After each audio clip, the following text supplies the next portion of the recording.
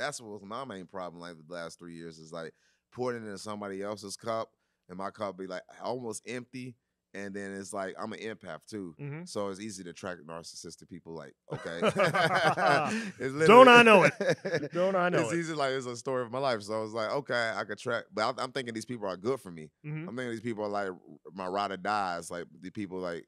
You know what I'm saying? Like, you know, the loved ones, you know, and I still love them, but I love them from a distance now. Mhm. But uh, it's more like I gotta let you go with love Mhm. because it's not good for me. You're not good for me. yeah, I'm empty. I'm drained every day Mhm. because I have to fill your cup, right. and I'm not getting that same reciprocation. So And how they respond to that is how they respond to it. Yeah, you know, because we it. can internalize the response too. yep. You know, but like it's up to them to choose how they, you know, how they take it. And Mhm.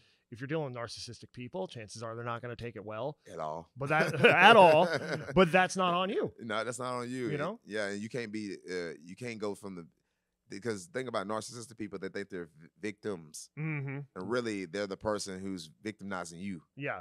Every time, every day, every time of the moment. Especially if you're an empath, because you're naturally attracted to attracting these people because they see a a, a hack on you. Mhm. Basically, they see some way they they can like control, have control, Yes. and that's what the whole premise is. Is like uh the relationship is based on like you know controller and victim. You know Mhm. what can you give me? What and once you you, stop me? giving, what then I'm done with you. And yeah, that's when they, the discard they, happens. They, literally live off the energy you provide, Yeah. and it's like yeah, it's like parasite. And, and once that energy changes, once you challenge them, Yeah, it's over. It's over. Your their perception of you is forever changed, maybe ruined, Yep. and the relationship is forever changed, Yep. maybe ruined, until you decide to put a stop to it. hmm You know, and that's the thing is like I've dealt with this, you know, with relatives. I've dealt with this in prospective relationships where it's been like, okay, like I am setting a boundary now.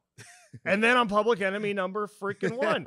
And it's like, all right. And like the thing is, being empathic people, we then start to think maybe I'm the narcissist. Yes. Maybe it, maybe I am the That's problem. the goal for the narcissist is to make you Uh-huh. think you're the narcissist. Yeah. Yeah, mhm, Is to get you weak. Yeah, Is to get you weak. And I think the creating the boundaries. I know that's what I learned as I get older. It's creating the boundaries early, Mm-hmm. like almost like the first two three dates. Uh-huh. if I'm doing a relationship or the first, if I just if it's new Mm-hmm. friends or whatever, create those boundaries early on. That way, it's no discussions, no line across. Mm-hmm. I mean, it's lines to cross.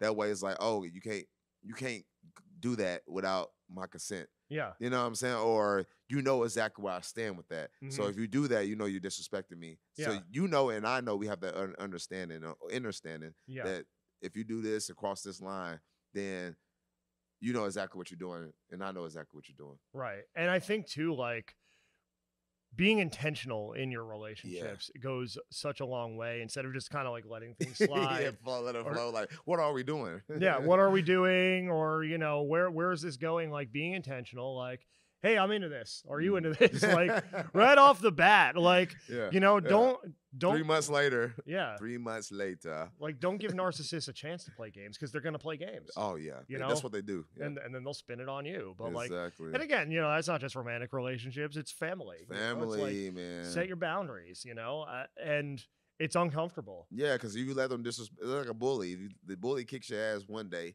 he's definitely gonna kick your ass the next day, Mhm. and the day after that, and the day after that. Until you kick his. exactly. and create them boundaries. Like, no, you can't do this. yeah. Every day, you can't do this. Yeah. No, no more. What you allow is what will continue. Come on, man.